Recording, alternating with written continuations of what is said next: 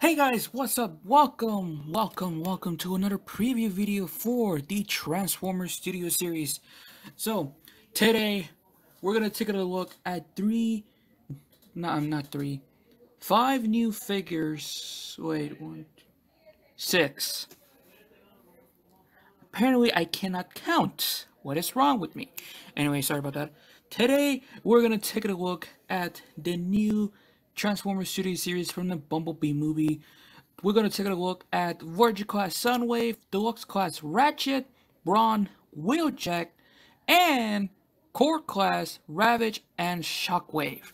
So six new figures, and that pretty much that's it. So we're going to start off with the small figures all the way to the biggest one. So yeah.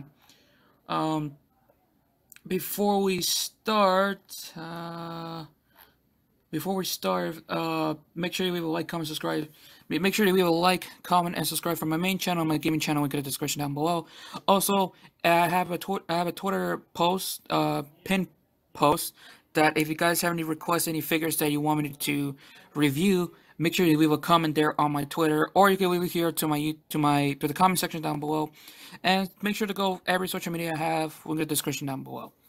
So we're going to start it off. So today we're going to take a look for the small figures first, all the way to the biggest one. But first thing first, we're going to show you the new packaging for the, the core class figures. So here we have the new packaging for the core class Shockwave and Ravage right here. The new packaging looks of it looks amazingly well. The now I think they're gonna use the same uh they're gonna use the same method again for the without the plastic windows. So uh, I think that's gonna be the one of the major problem, for my opinion, because a lot of people are gonna steal it. So yeah. Anyways, we're gonna start it off with core class Shockwave. Now, Shockwave. Uh, let's see. Shockwave. I, I, I uh, there's one. I love this figure, but this.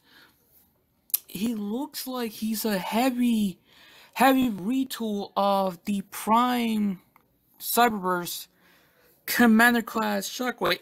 Let me do a comparison with it. So, but if you guys can help me out with it, so let's see.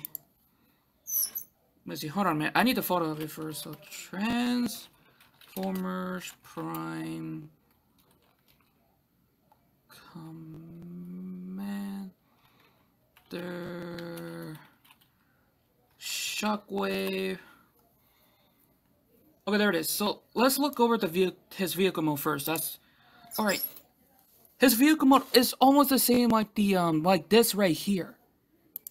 Like here is the the, the Studio Series version of it, and here we have this. I think it's the same thing, but I get the feeling. But I think it's almost. Uh, I think this character, this figure is, is a new mold. I don't know.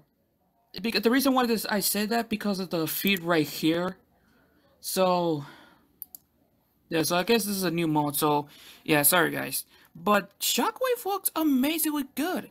The only major problem with this figure have is the lack of paint that this figure have.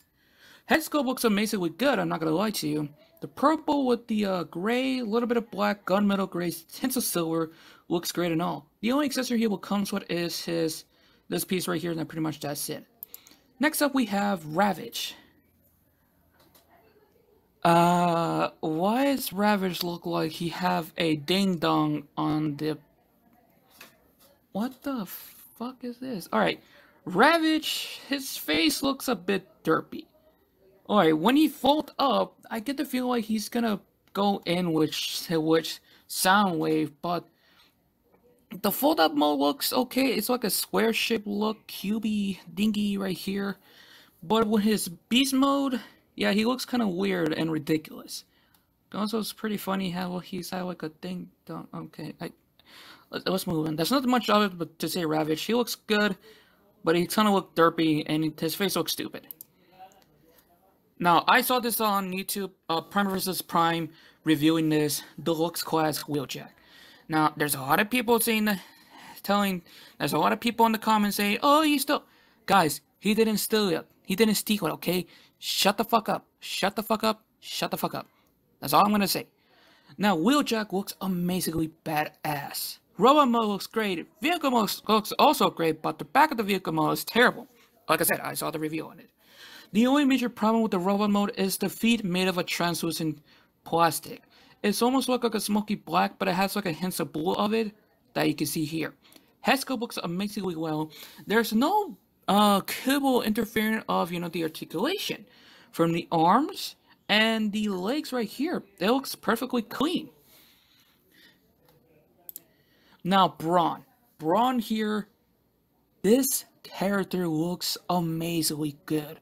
His vehicle mode, a Cybertronian driller.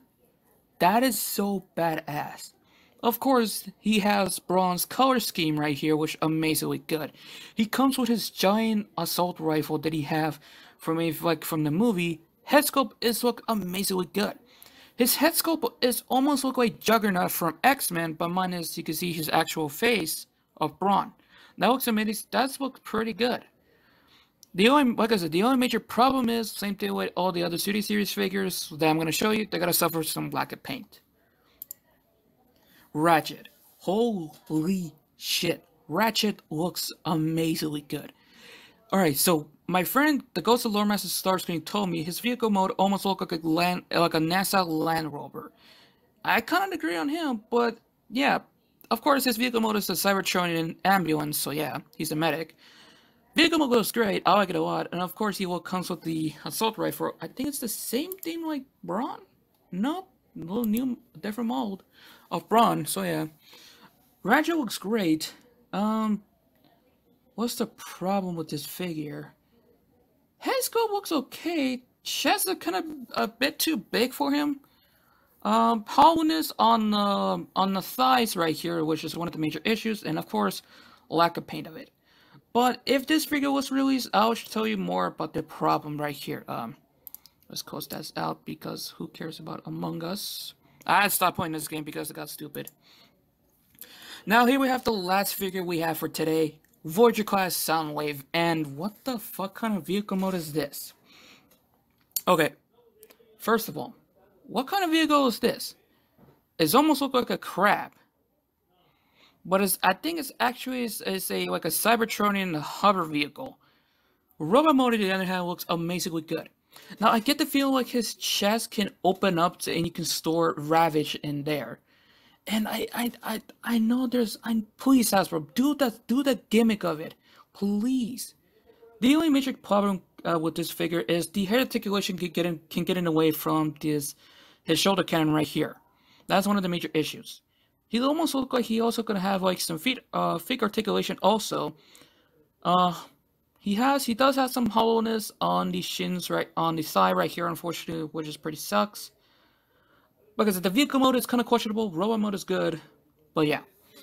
Overall, these new figures are amazingly good. I highly recommend to have this in, well, it's not out yet. It will release in 2022, but which what which figure do you guys want me to get? Do you guys uh, do you want me to review? But also, what figures do you guys want to get? I may have to start off getting Shockwave and Ravage because I know D2 is going to be very rare, hard to find in the future, and a high price. I may probably try to get all the others right here, but we'll see in the future.